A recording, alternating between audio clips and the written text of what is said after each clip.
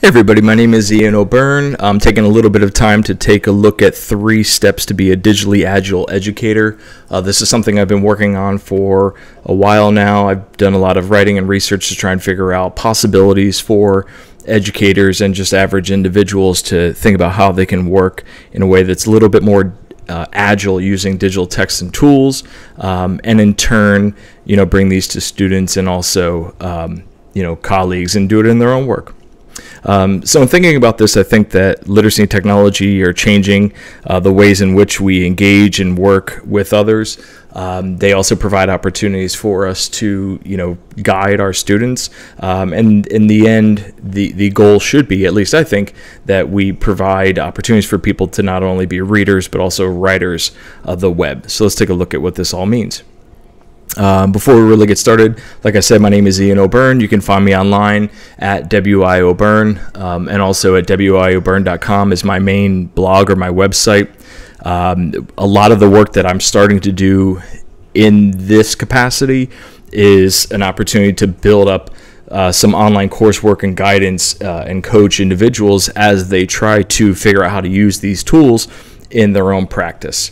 So, in terms of this specific webinar, what I want to take a look at is uh, start off with what is the current context, what is the current situation that we have. Then I want to move to taking a look at opportunities to, first of all, consume and then curate and then create online content or digital media, and we'll dig much deeper into that. And last but not least, I want to give an opportunity to discuss and debrief and think about some of the things that I've presented. Uh, once again, this is just the beginning of the discussion. I think that I will hopefully, if I've done my job right, I will unearth a, a bunch of opportunities where we can grow and we can learn and we can improve ourselves for the future. So, this is the beginning of the discussion. Please reach out for more support, and we will have more classes and workshops in the coming months and coming years as we unpack this. Uh, this is by no means uh, the the start and end of the discussion. So, when I talk about being digitally agile, agile really comes from uh, software development, and we're thinking about work that is or, or processes that are self-organizing, they are adaptive, they are flexible, and they're iterative.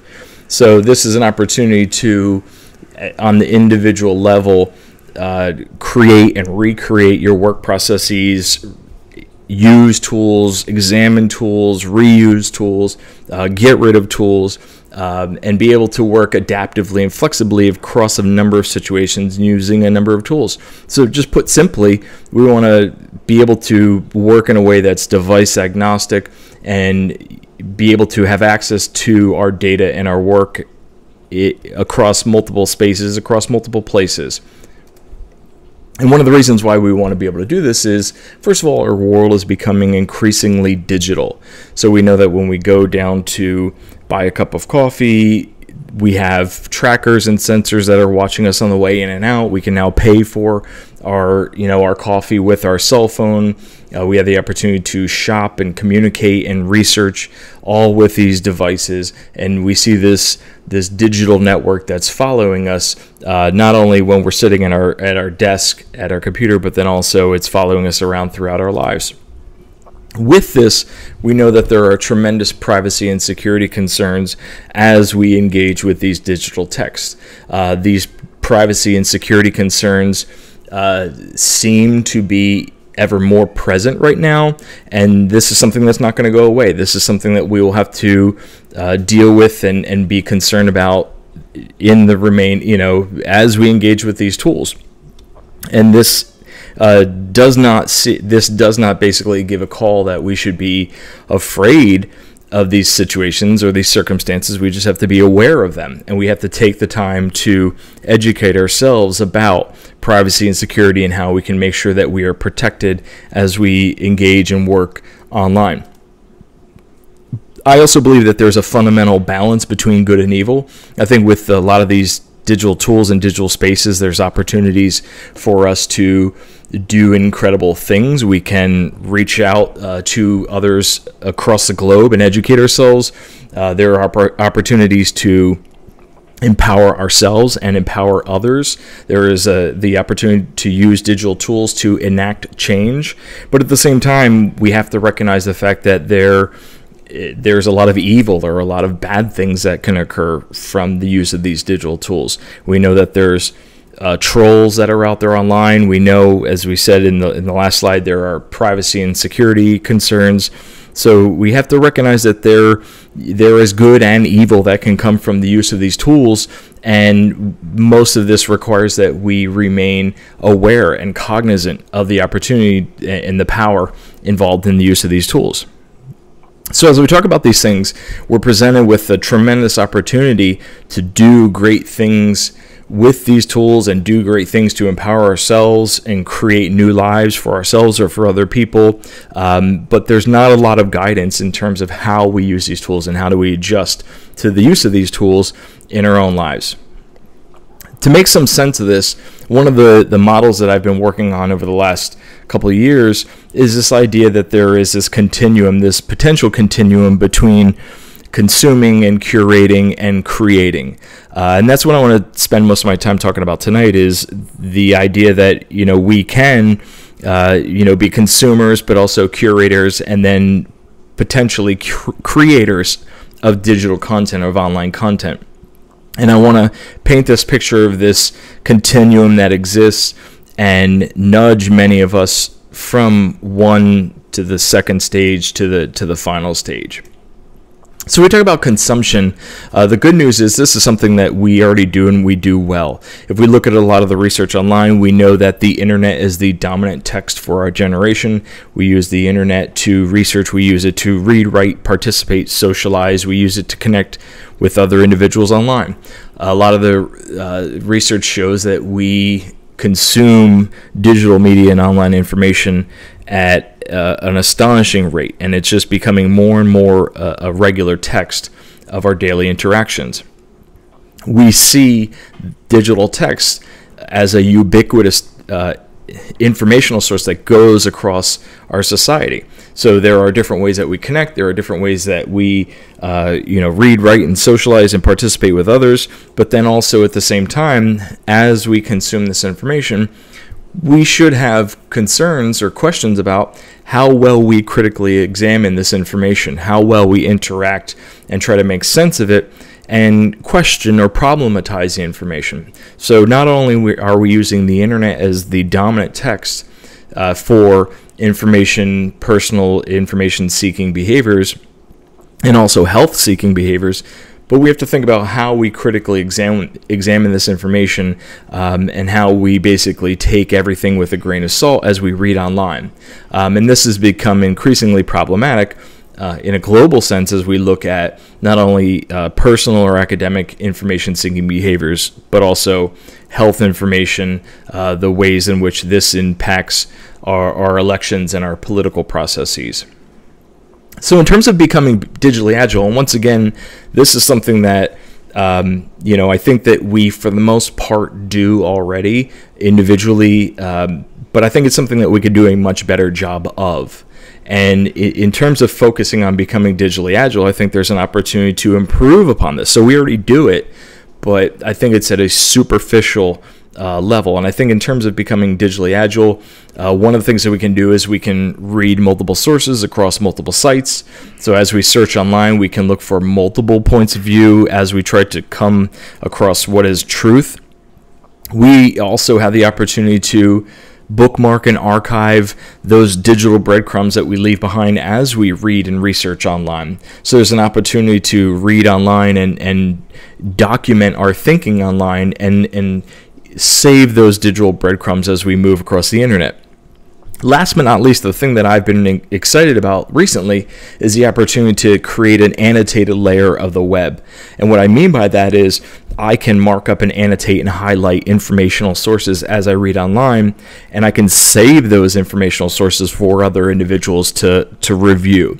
Uh, the tool that I currently use is Hypothesis. I have blog posts uh, out there, uh, you know, on my website showing you how to use Hypothesis. Um, so that's really got me excited lately. The opportunities for, you know, collaboratively individuals to build an annotated layer on the internet.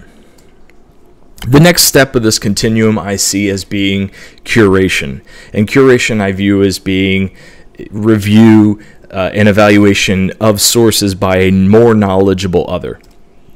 So we have to face the fact that many of us share an inordinate amount of information online, whether it's from tablets or devices or our own web browsers. Um, we have individuals, we have groups, we have corporations that share a ton of information online. And the problem with this is this ultimately creates a fire hose of information.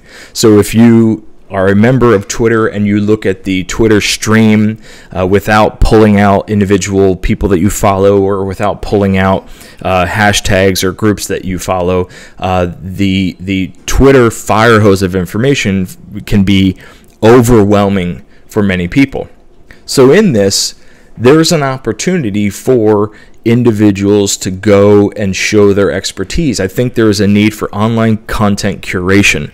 There's a need for people to take the opportunity to sit down and show their expertise and look at the fire hose of information that's available online and say, you know what?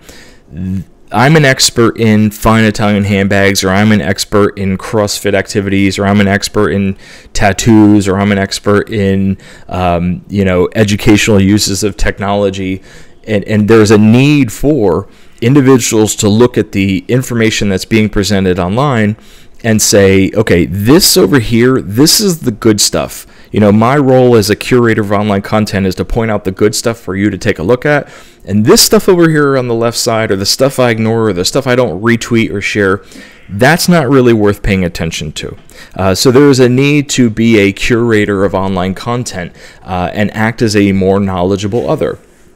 One way that I try to make that happen in my own work, in my own processes, is I put together my weekly newsletter.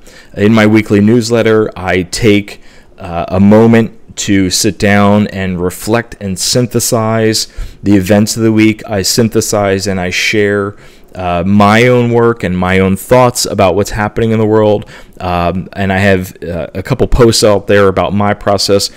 But uh, at the base level, what I try to do is take an opportunity to think about what is happening in education and technology and literacy that's really important and let me take a minute to share that with under with other individuals so that they can get a better understanding and a better sense of what's important out there um, so that is not only an opportunity for me to archive and share my thinking over time, but I think that it's a service for other individuals. So that works for me. Um, and my question is what works for you so in terms of becoming digitally agile i have questions about what are the ways in which you can be the expert and you can curate uh, information online. One of the ways I think is that we should we should all blog and we should have a website and create and share and archive our, our thinking over time. So, I mean, start up a website and start blogging, start reflecting online, uh, whatever it is that you're trying to learn or do in your own uh, situation, in, in your job. Uh, blog about this, reflect about it. And a- as you do this, one of the things that you're doing is you're, you're creating and you're curating your online brand or your digital identity. So, start openly reflecting online, synthesizing and curating content and sharing it with others so that they can understand what the real important things are um, and the things that they need to p- pay attention to. And once again, it can we're all experts in a specific area in a specific field. This is an opportunity for you to think about what you have expertise in and share that with the world and make sense of that fire hose that exists online. One of the last areas that I'm excited about is the opportunity to create. And this is something that when I was teaching got me excited. It's the opportunity to be creative, the opportunity to share and build, um, and, and in, t- in many senses to write. And so, in terms of creation, through the use of digital text and tools, there are incredible ways to create digital content that's not only uh, online, but then also exists in hybrid spaces. So we have these new tools through mobile devices and through new apps that we can do incredible things um, that we couldn't even imagine even a couple years ago. So one of the things that I think is a non-negotiable uh, is that I think that every single one of us, especially in education, should have an ex- have expertise in creating and using screen captures and screencasts. So screen capture is an opportunity to take an image uh, you know, create an image from something that's on your screen and mark up or annotate that and use that to display or teach or instruct or tell a story from something that exists on your computer screen. A screencast is a movie that you take from what's happening on your screen. So a screencast, in effect, is exactly what I'm doing right now. I'm recording this webinar as an opportunity to share with other people. Um, so a screen capture is a, is a, still image that we create from something happening on our screen. On our screen, and a screencast is a video that we create from uh, what we see. It's an opportunity to show the video and also uh, narrate or talk through it if needed there's also opportunities in, in thinking about creating content. There's opportunities to think about coding and programming. We hear a lot of talk about coding and programming. There are new apps and tools and spaces online where we can learn to code and program. Uh, there are it, it, it's it's made very simple. Um, there are also opportunities to join local coding clubs and coding schools and programming schools to either learn or build a skill set. But then there's also the opportunity to think about you know we don't need everyone to be coders and or programmers but i think the important thing is to understand that behind the the apps or the websites or the programs there is code that is making those things operate and i think that we all need to understand and be able to take a look at that code and make sense of it um, and so i mean there is an opportunity to think about coding and programming programming but also computational thinking and thinking algorithmically to make sense of the world. So I, I, think when we think about creation, we have incredible opportunities to code and program. We have opportunities to, as I said before, go online to spaces like code.org, or we can go and play with Minecraft, and you know we can uh, create uh, digital sprites or uh, find opportunities to create characters that move around and make programs that operate the way that we want to. Uh, and this is a way to mess around with some code and mess around with digital content and create new things and create new worlds. One of the last spaces that I've increasingly been uh, spending a lot of time and getting excited about is in making. Um, this could be something as simple as uh, cooking in in our kitchen, but it can also include uh, making with Raspberry Pis and Arduino boards, making with uh, LEDs and watch batteries and copper tape. Uh, this can include sewing. This can include uh, welding. Uh, but there's an opportunity to play with and and create content both in the real world and in the digital world. And we see maker spaces building up steam. But there's incredible things that we can do when we think about opportunities to make. Um, and, and I view making as, as writ broadly. It can be the real world spaces, but also digital spaces. So we see opportunities. You know, I, I recently spent time in a kindergarten classroom with LEDs, uh, you know, little light up, uh, light up pieces that I would use copper tape and watch batteries, and students would write poems and embed the LEDs and light up the poem into the paper, and then we'd bring that and create movies from that. So there, we're mixing uh, a number of spaces and a number of tools as we make, create, and share content. So when we think about becoming digitally agile, there are opportunities too, and I think that we should increasingly create. We should create and share materials online. So, as I said before, I think that every single one of us should be creating and sharing images, video, audio content. This can take a number of formats. Um, one of the things that has me very excited uh, lately, and one of the things I've been experimenting with, is the uh, creation of instructional GIFs or GIFs, depending on what side of the street you grew up on. But I, I've been playing with animated instructional GIFs. So, how can I create these uh, basic animations as a way to teach, as a way to show little movements on a screen. And last but not least, I think that as you engage in these activities, as you create, part of the learning process is the, the taking the time to reflect. So please blog and reflect and share uh, what you're creating on your website so that other people that want to follow in the learning after you they can see what you've learned over time and they can figure out um, things that you did that worked and did not work or things that you did that made you successful and they can follow in your path So, once again, we're taking a look at this continuum that exists, or I believe it exists, between consumption to curation to creation.